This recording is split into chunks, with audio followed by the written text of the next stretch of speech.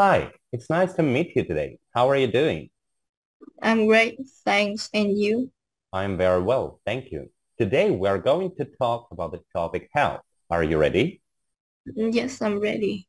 So first, what's your name? My name is An Khanh. I'm 11 years old. I live in Hanoi, Vietnam, and I'm Vietnamese. Do you have any unhealthy habits? Yes, I have some habits that aren't healthy for my health. Um, for example, I rarely have break breakfast. I, never do exercise, and I don't like to eat vegetables.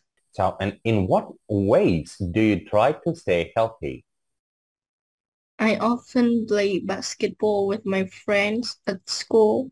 I think basketball improves my height as well as my health.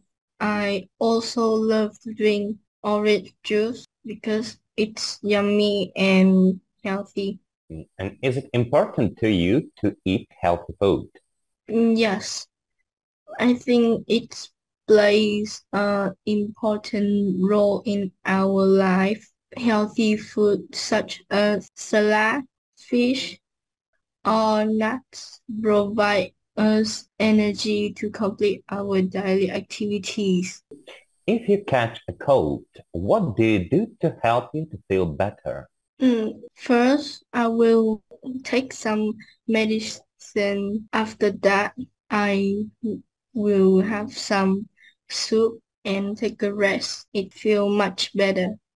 Is it easy in your hometown to find places to exercise? Um, it's hard to find um park or, stadium around my house to do exercise. I cannot walk on the street because there is too many vehicle. Do you often eat junk food? I always eat junk food with my friend. It tastes really delicious, but I know it's not good for my health.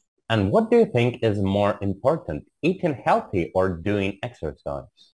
I think having healthy diet is as important as doing fitness. If we skip our exercise, your body won't look good. If we mm-hmm. don't eat healthy food, well, we will gain fat. And what are the most popular ways of keeping healthy in your country?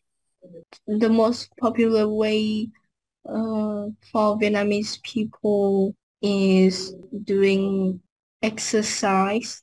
For old people will have a walk in the park and young people will um, go to the gym to keep fit. Well, thanks for your sharing. I had great time talking to you today. Thank you, teacher.